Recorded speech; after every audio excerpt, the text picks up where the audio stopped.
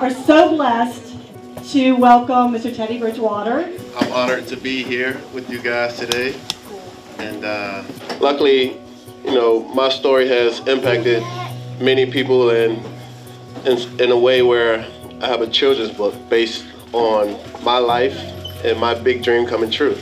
And uh, my best friend wrote the book, Erika Cardona, and um, it's titled Little Bear Teddy, Little Bear Teddy, Big Dream Come True.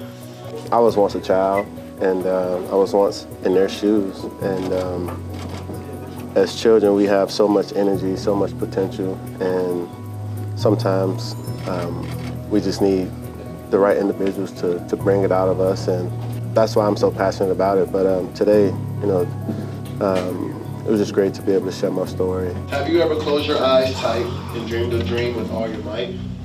Every little boy and girl dreams a dream that they wish to come true. Sometimes it may seem bigger than an elephant, but it is never too big for you. Little Bear Teddy, who remained very steady, plays sports galore. Hey, batter, batter, shoot the ball. Defense, don't let them score. No, it was not easy to juggle and perfect all three.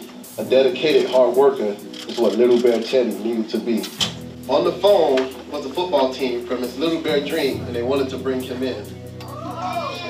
Sometimes it may seem bigger than an elephant, but it's never too big for you.